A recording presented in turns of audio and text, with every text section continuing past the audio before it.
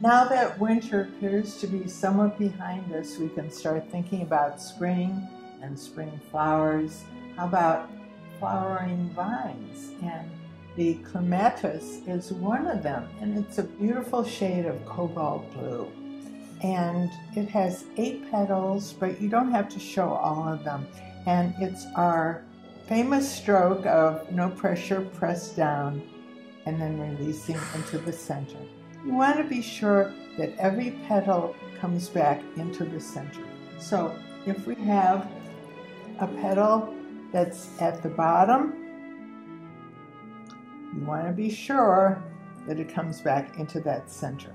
And if it's not full enough, then just do one right alongside of it, like so.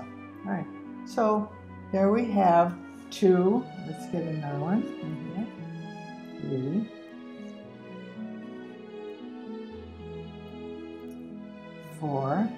Pushing outward with the heel of the brush. And it's nice to get that gradation of tone. We love that. And let's work in some more here. Five. Are you counting? Six. And I just need two more.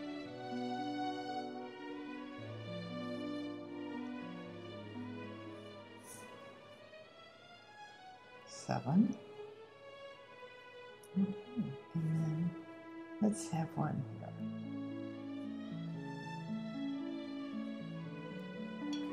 And that's going to fill in nicely. If it doesn't, you can always come in with a clear brush and blend it together. All right, now let's have one or two other flowers where the petals have tended downwards it's been open for a while, and let's just see what that might look like. So there's one petal, and then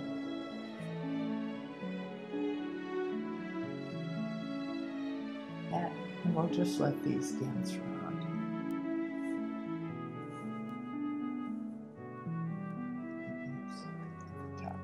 Okay, so, and then one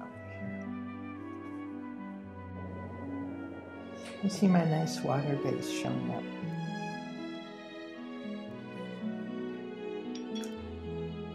And for time to time, I would suggest that you rinse your brush completely and start over because the tone in your brush will work its way up to the heel of the brush and then you'll get a solid tone.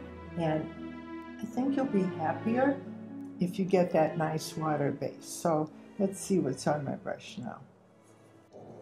Okay, that's going to work.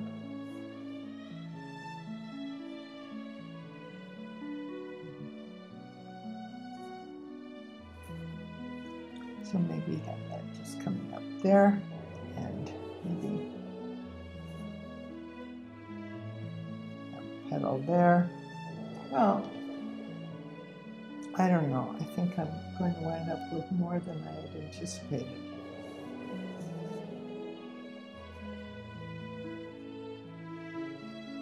I got here one, two, three, four, five, six, seven. Okay, stop. All right. So far, so far. And I'm going to pick up some sap green.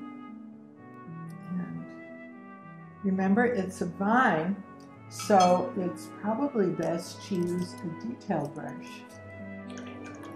Always get your brush nice and white when you start. And then I'm going into the sap green. And let's see where I can get the most movement going on. Let's, let's just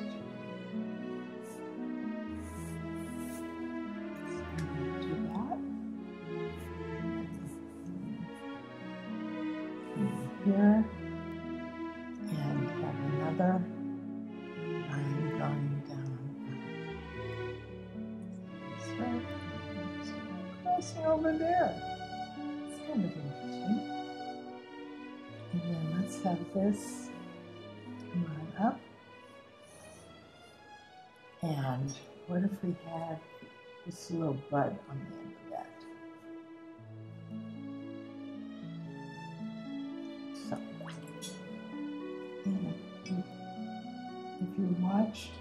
many of my videos, you know I love to do tendrils. It's sort of, I can't help myself. So let's get some tendrils going on.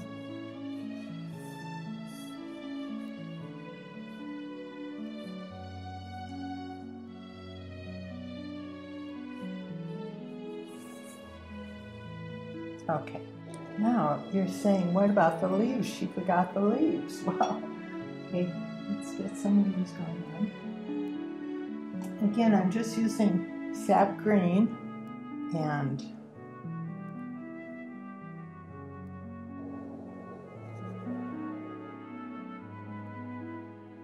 like to get oh, movement going on here.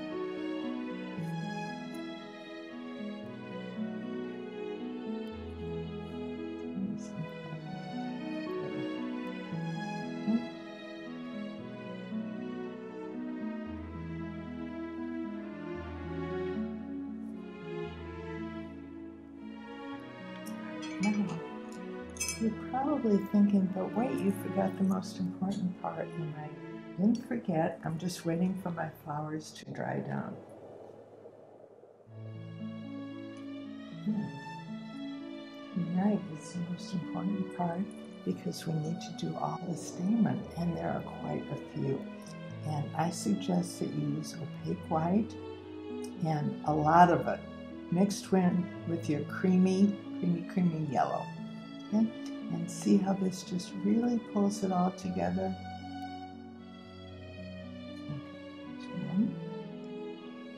And then these will have them coming upwards, but they're going to be hard to see, so maybe I can pick up a little bit of stronger yellow.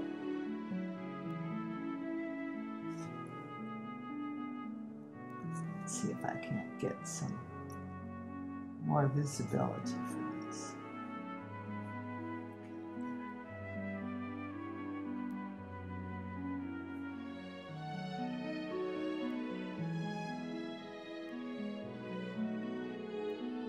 remember we have a lot of these, so don't be afraid that you're overdoing it.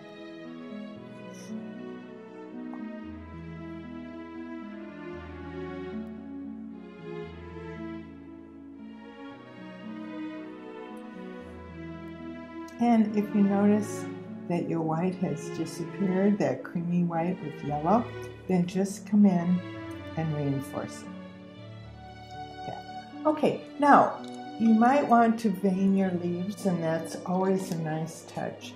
So you'll want to use a deeper tone, so maybe a perylene green, which is a green with a lot of, um, looks like almost has black in it but um, it certainly doesn't have yellow.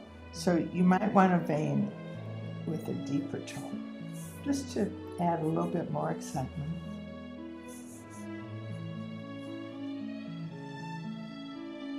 And remember, you don't have to stay within the shape you created. It's going to be more fun if you go outside of the borders, like so. Okay. Now, if you would like, you could also do some outline on your flower. Um, I don't know if I would do that, but um, if you want to see it, I can go ahead and do it. What do you think? Just go for it? Okay, so we'll just take our blue and just see what happens when we do this. Kind of makes it more interesting.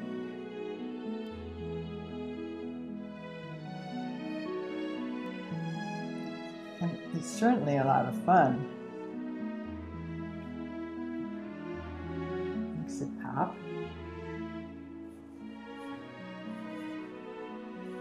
And you want to do these very rapidly, so just don't be too serious about it. Okay?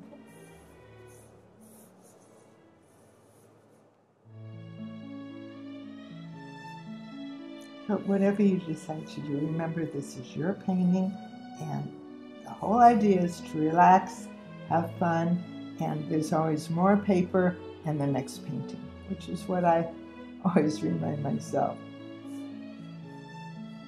Okay,